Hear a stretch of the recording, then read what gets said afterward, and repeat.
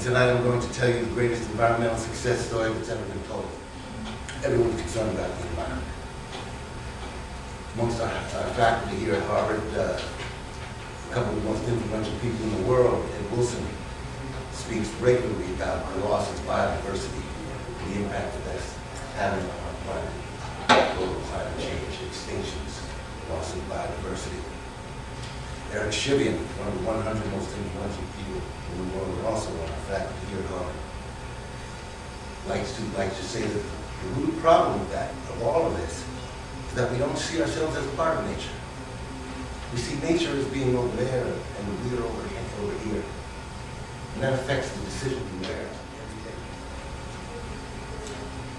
And that's affected the way we approach the environment. We've had a lot of great environmental success stories in the United States. The creation of the National Park System was a great environmental success story. The creation of the Endangered Species Act was a great environmental success story. Uh, The creation of the, uh, the Nature Conservancy, the World Wildlife. And that's the way we approach things. We like to protect habitat, and we like to protect species. In the United States, uh, wildlife is considered resolutely as belonging to no one, but to be held in trust for the benefit of the people of every state.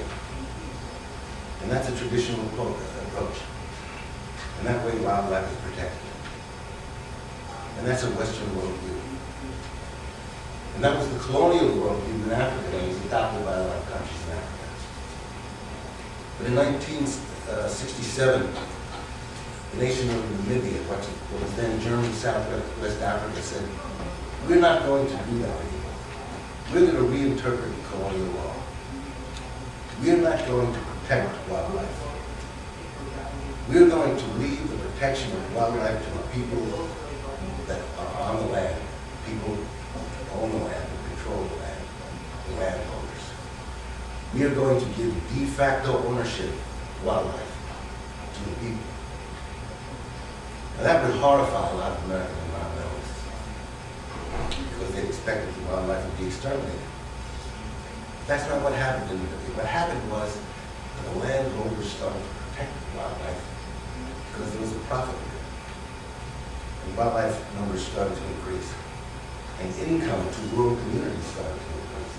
And it was such a successful model, economically and ecologically, that it was copied about 10 years later by Zimbabwe, what was then Southern Rhodesia. And the year after that by South Africa, where a true revolution in game ranching began.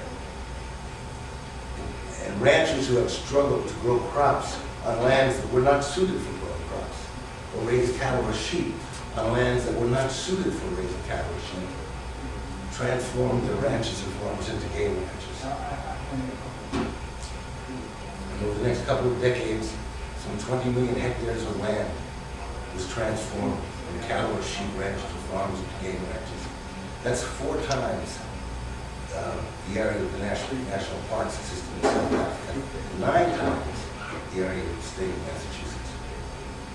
And not only did wildlife numbers increase, but the land was restored to natural storage. 20 million hectares of land being restored to natural condition.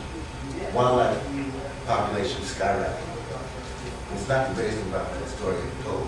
What happen next is, because it was recognized that throughout Southern Africa, that there are rural peoples, tribal communities, villages, hundreds of tribal communities, thousands of villages, and tens, if not hundreds of thousands of rural peoples that also had wildlife on their land, and that they could benefit from wildlife also. Namibia, Botswana, Zimbabwe, Mozambique, Zambia, and Tanzania, called community-based natural resource management. That's an interesting phrase, community-based natural resource management. That's not government-controlled natural resource management. That's not control of wildlife by the World Wildlife Fund, natural habitat by nature, right? controlling space by national parks. That's people having control of the resources on their land. And it's been so successful. And this is how the people profit from the wildlife on their land. I mean, from the natural resources on their land. Craft production. Marketing of film products. Basket making and uh, herbal products, and things like that. Photographic and cultural tourism. And people don't, tourists don't always want to go to the land where these people live because it's not that scenic. It's miles of desert or miles of Mopani woodland. There's a lot of wildlife, but you have to look for it. And so the only people that will really go to these lands are members of the hunting community. And this is a typical chart. Almost three quarters of the income throughout rural Africa to rural peoples comes from foreign tourists going to their lands to hunt with them. And that's caused this growth in wildlife populations, this growth in land available to wildlife. And I can show you similar charts for growth of income to peoples throughout southern Africa. And that's the greatest environmental success story ever told.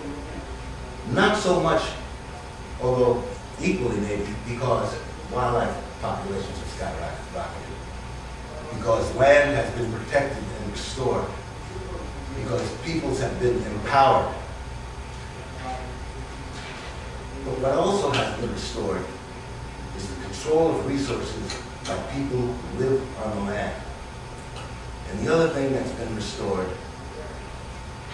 the idea that Eric Chivian talks about, that we are part of nature. We are not separate from nature.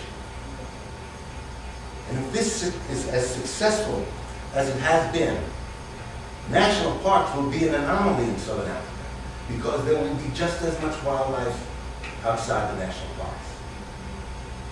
And the people will be empowered, the wildlife will thrive, and the land will provide full biodiversity. Thank you very much.